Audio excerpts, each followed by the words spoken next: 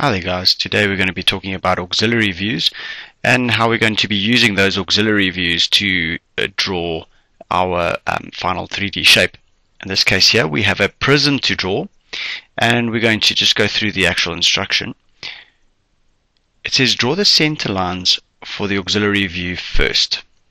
Use the auxiliary view given to draw an isometric prism using corner A as your lowest point the point A has already been provided for for you and it is also seen in the isometric view so please remember to include all necessary center lines Alright, so we have the bottom corner over here labeled A which is our 2D shape, our auxiliary view and we have our A for our isometric view over here that we're going to start off with. Right, so please remember that your auxiliary view will contain all your measurements needed and any me measurements needed to take from the auxiliary view and plot on the isometric view um, will be needed to um, be calculated on your auxiliary view. Right, so let's get a start. We're going to start with A and I'd like to go and label each one of my corners appropriately. This one here I'm going to call B.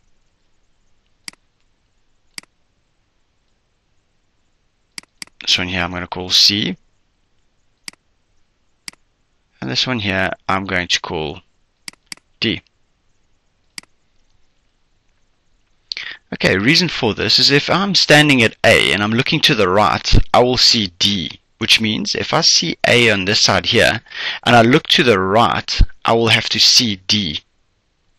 Same as B, if I stand at A, given, and I look to the left, I will see B. When I go across to my 3D shape, when I stand at A and I look to my left, I will see B on the left. Alright, first things first, you have to go and draw your block. Remember, this is not a square, this is a simple box that is touching each one of your corners. You'll note that the diameter given over here is 60 and the diameter over here is 51.96 which means they are not the same which means this is not a square. We will be using these dimensions, not diameters, sorry, but dimensions, um, to plot our existing box in uh, as our as our 3D shape takes shape. Right, so I'm going to go from A to B, which measures 60 millimeters at 30 degrees.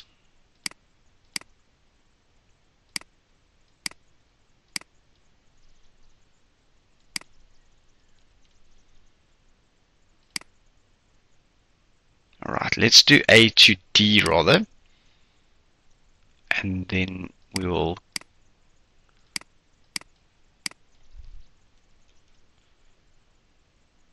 cover A to B. We also know that our 3D box is going to have a height. And in this case here, we haven't given a height, so we're just going to assume the height. I'm going to make it about 80.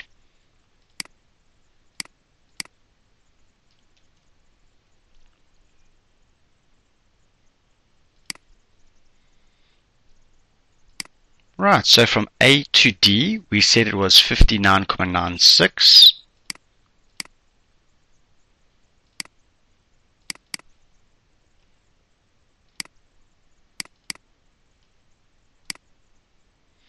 And from A to B, we said it was 60.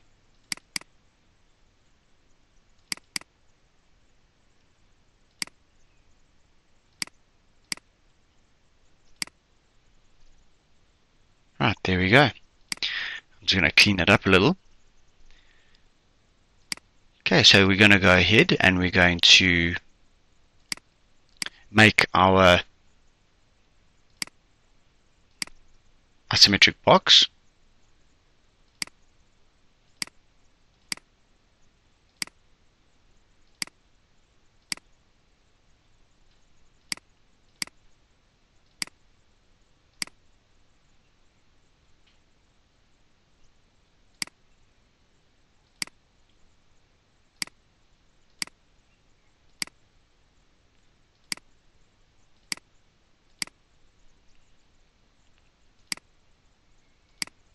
And once you've done that, we can now start plotting our points.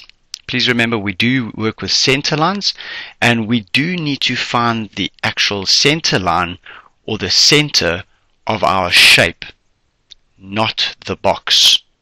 Alright, there's a clear difference. The center of the box will not give me the center of my shape.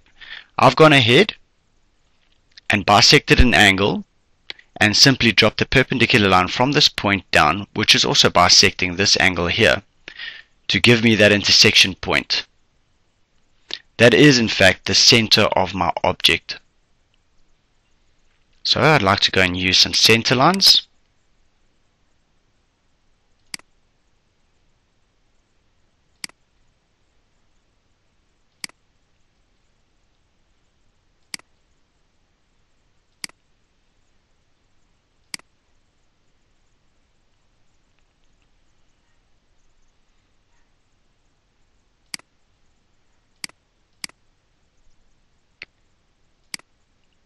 And I plot the points needed to find my center line or my center of my object.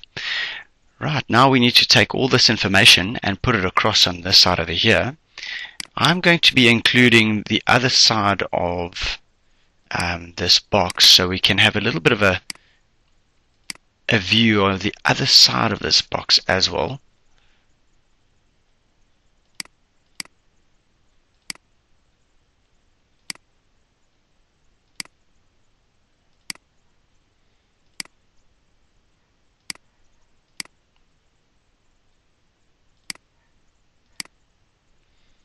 Alright, let's transfer this information that I have over here. So remember we said A has been given. To the right of A is D. So I'm going to take D and plot D over here. And to the left of A will be B. And the only other option that we have for this corner at the back here must be C. Between line A or point A and B I haven't got any other points except for the fact that I have a triangular corner on A and a triangular corner on B, which means this entire line would therefore be a solid line. I now have to find the third corner to which A and B is joined. Lucky for me, this is an equilateral triangle and therefore the point from C to the third corner is equal to the third corner to point D, which is eventually going to be pointing out the midpoint on line CD. Remember that point there is between point C and D.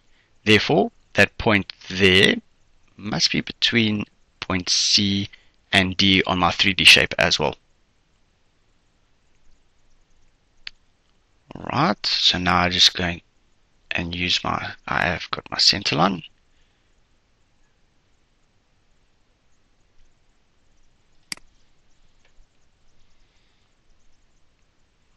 SolidWorks so kindly points out our midpoint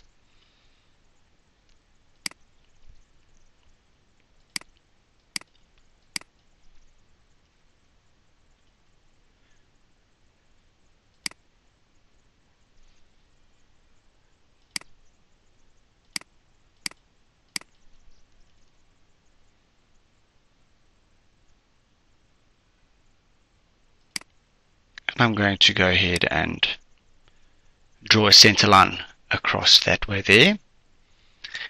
And for me to find this center line going through the middle of my object, I simply measure from point A to where it intersects with my line AD. From our point A to this point over here.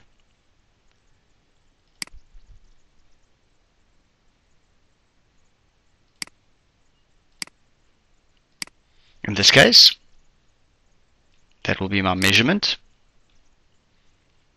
And I want to ensure that measurement falls on my line AD as it does over here.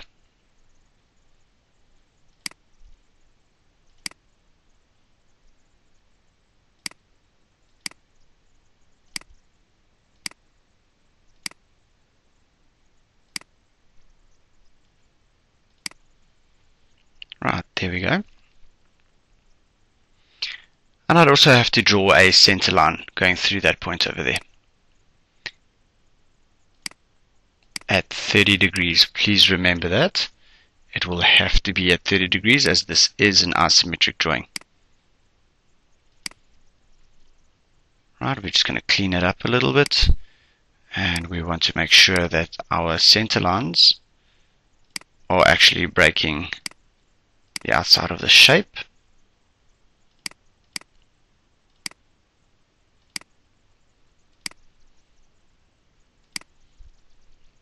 Alright. Now I managed to plot the actual center of my object.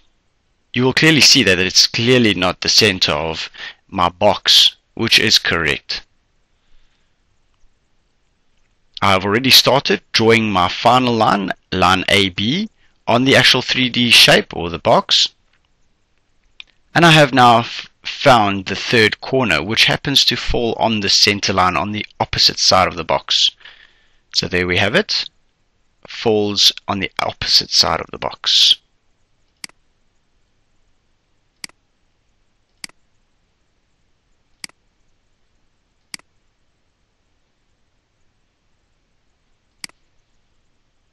Right. Now to do yourself a favor, this is in fact a prism. So we're all going to take this line and this line and change them to final lines. I'd like to have that as a hidden detail line because that will obviously not be seen. And I'd need to draw a line from that third corner straight up till it hits the top and I'm going to let it pass through that point so that I can guarantee a straight line. Right, you'll note that at the top surface over here I have one, two, three points which I'd also have to join.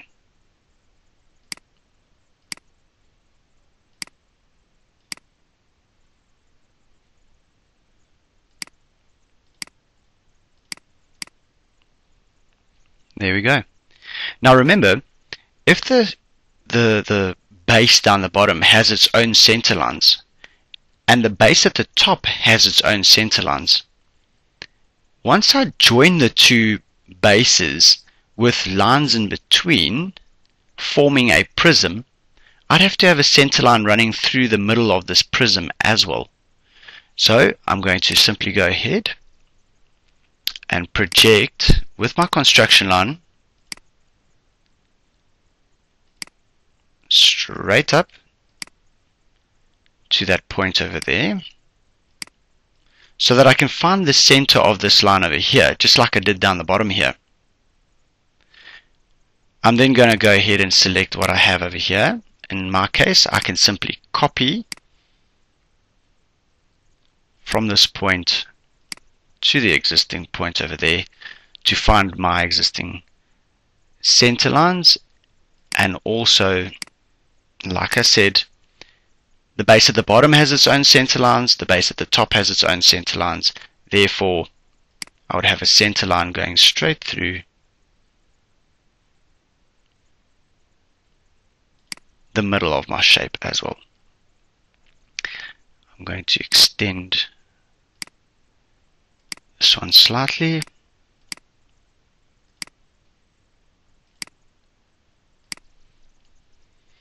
And there we have it.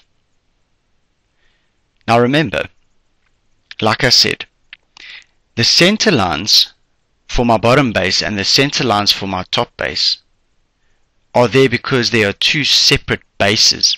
But the moment I join these bases to form a prism, I have to include one more center line that goes through the middle of both these bases. If I had to erase all my construction lines, I will be left with the final product, which is a triangular prism. Right, I hope this was helpful. Uh, if you'd like, you could always uh, skip back a couple of moments, replay the video, and um, I hope this was as helpful as um, I could make it. Thank you very much.